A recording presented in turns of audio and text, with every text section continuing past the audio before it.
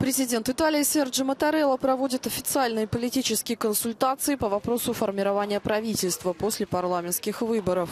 По традиции переговоры начались со встречи с председателем Сената. На эту должность избран Иньяцио Ларусо, соучредитель ультраправой партии «Братья Италии», которая получила более четверти голосов избирателей. С Мотореллой встретился затем спикер Палаты депутатов Лоренцо Фонтана, евроскептик из правопопулистской партии «Лига», результат которой на этих выборах ухудшился, но она, тем не менее, войдет в правящую коалицию. Встречи президента с политическими лидерами проходят на фоне очередного скандала среди правых. На этот раз после заявления экс-премьера Сильва Берлускони о милой, по его словам, переписке с президентом РФ Владимиром Путиным. Партия Берлускони «Вперед Италия» входит в коалицию.